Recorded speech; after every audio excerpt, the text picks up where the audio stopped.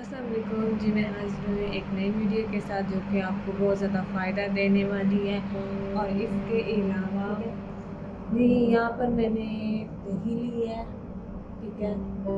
और दूसरे नंबर पे हमारा सरसों का तेल। ठीक है, अगर किसके पास मतलब जो बालों पे नहीं लगा सकता, सरसों का तेल मतलब अगर नहीं है, सरसों का तेल इस्तेमाल नहीं करता, अगर कोई और तेल इस्तेमाल करता है तो वो भी चल सकता है, ठीक है? तो यहाँ पर मैं आपको इन दोनों चीज़ों के फ़ायदे बताती चलूँ कि इन दोनों चीज़ों के क्या फ़ायदे हैं, ठीक है? इन दोनों चीज़ों के ये फ़ायदे हैं कि जिनके तो बाल गिरते हैं, मज़बूत नहीं होते। ठीक है, बालों में खुशकी हो जाती है, बाल बढ़ते नहीं हैं। तो ये दो चीज़ें आपके इन तमाम मसलों को ख़त्म कर देंगे, ठीक है ना? जड़ से भी ख़त्म कर देगा। और आपके बालों को लंबा करेगा, घना करेगा, जो बाल गिरते हैं, उनको बंद करेगा, मज़बूत बनाएगा। तो चलिए मैं आपको यहाँ पर बताऊँ कि हम कैसे यूज़ करेंगे। ये ये चीज़ें हमने रखी ना? अब आप अपने बालों के मुताबिक ही ये चीज़ें लेंगे कि आपको दही कितना लेनी है और ऑयल आपको कितना लेना है, ठीक है ना? तो यहाँ पर हम लेंगे, आप चाहें तो छोटे बच्चों के भी, जैसे छोटे बच्चे होते हैं तो उनके बाल नहीं पड़ते तो आप उनके बालों में भी लगा सकते हैं है। यहाँ पर मैं आपको बताती हूँ कि अगर छोटे बच्चे हैं इसके अलावा बड़े भी, अब किसी के बाल घने नहीं होते और वो उनको दो चम्मच ही काफ़ी हो जाते हैं। मतलब दो चम्मच ऑयल के और दो चम्मच ही दही के, ठीक है ना? यहाँ पर मैं आपको बताती हूँ कि आपने कैसे करना है। दोनों चीज़ों को बराबर मकदार में आपने लेना अगर जैसे कि हमने एक चम्मच दही लिया तो यहाँ से एक एक चम्मच सरसों लेंगे ठीक है ना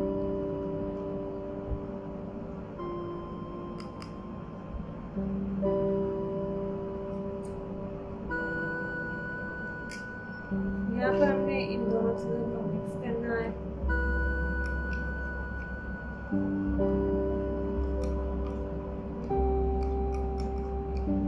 ठीक है।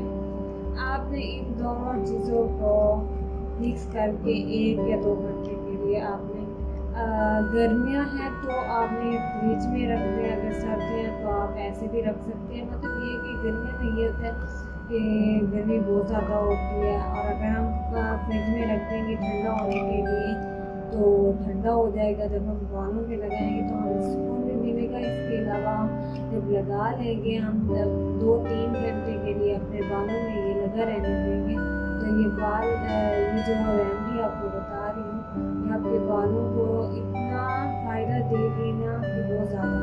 ठीक है ना? आपके बाल जो गिरते हैं, वो ख़त्म हो जाएँगे, गिरना लंबे होंगे। तो इन आपको इस वीडियो से बहुत ज़्यादा फ़ायदा मिलेगा। आपने ज़रूर इस रेमडी को इस्तेमाल करना है। ये नहीं करना है कि ठीक है, ये बता दिया तो बता दिया। नहीं। जो देसी टोटके होते हैं ना तो वो तो बहुत फ़ायदेमंद और इसके अलावा जो लड़कियाँ शैम्पू इस्तेमाल करते हैं तो उनको चाहिए ज़्यादा इस्तेमाल ना करें। हफ़्ते में एक या दो बार शैम्पू का इस्तेमाल करें ज़्यादा। शैम्पू इस्तेमाल करने से भी बाल हमारे गिर जाते हैं, गिरना शुरू हो जाते हैं, कमज़ोर होना शुरू हो जाते हैं, ठीक है ना? तो इस चीज़ का ख़ास तौर पे एहतियात करें कि जो ज़्यादा लड़कियाँ शैम्पू इस्तेमाल करती हैं तो उनको चाहिए हफ़्ते में एक या दो बार इस्तेमाल करें।